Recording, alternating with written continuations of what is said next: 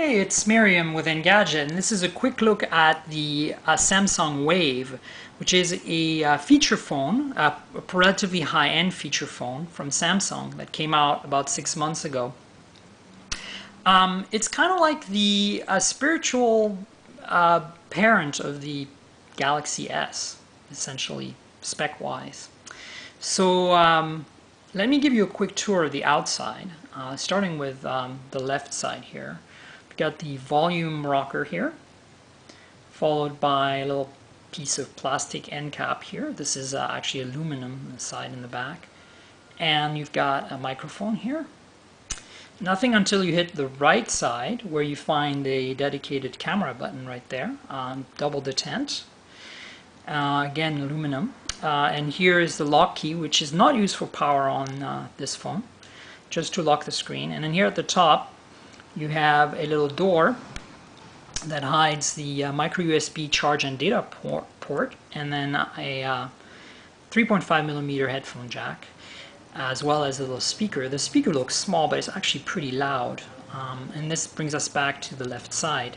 Uh, in front here you have the Samsung logo and the earpiece and then um, front-facing camera, it's VGA right there and at the bottom you have three keys, uh, very similar layout to Symbian on touch screen phones. Uh, talk, end, and uh, kind of a home button or menu button. Uh, this also is used to go back. And then uh, here on the back you have the battery uh, latch to open the battery door and the 5 megapixel autofocus camera. This is capable of doing HD video recording at 720p. It's a pretty nice camera for a feature phone. As you can see, the, the back is aluminum and the, the tolerances on these seams are really, really tight. So this is really, really well-made uh, phone, feels really premium, has a glass front. Um, you can't really see it very well in the video here, but there are actually like a rounded edge. It, uh, kind of slides up towards the edge here, um, the glass, so it's not completely flat. not sure if you can see that in the video. Same at the bottom here that's pretty special. Um, they certainly um, push the materials here quite a bit with the manufacturing. And it just feels that way. It's uh, not very heavy, but um, pretty dense, pretty uh, strong and solid feeling phone.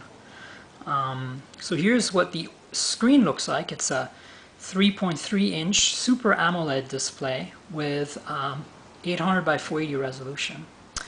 And behind the battery door here, you have it's a pretty large battery.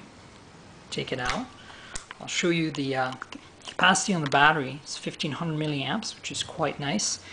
And here you have a, a micro SD card slot. I put a 2 gig card in there. There was uh, no card provided with the device. And here's the SIM card. I've got a T-Mobile SIM in there right now.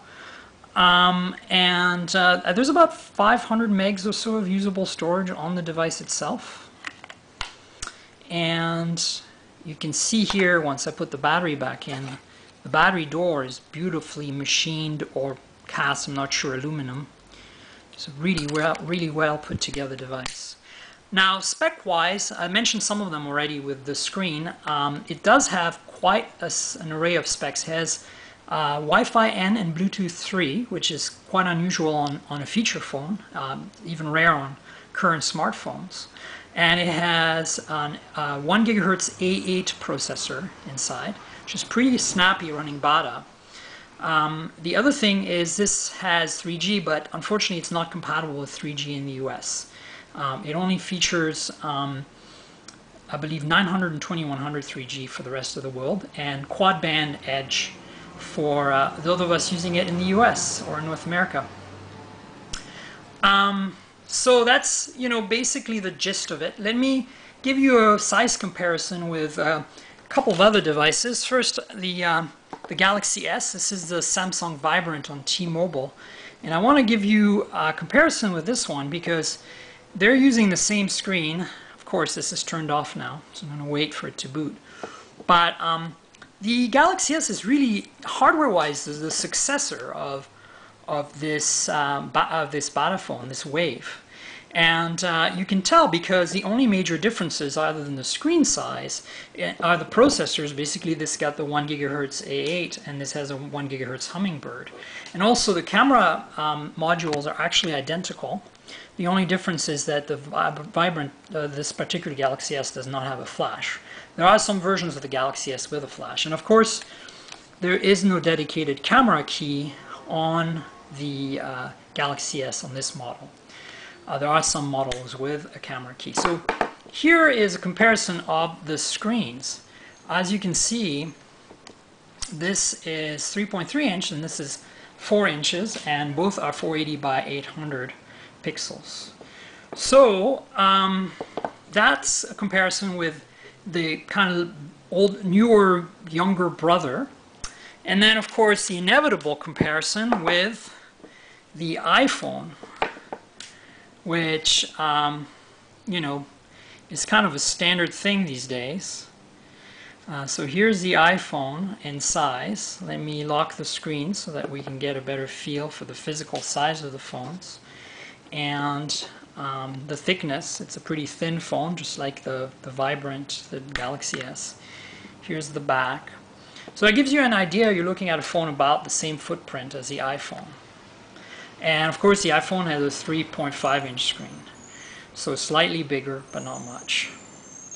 So there it is, a quick look at the Samsung Wave.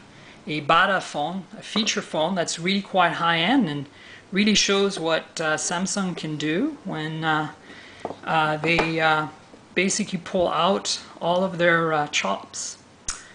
All right, cheers.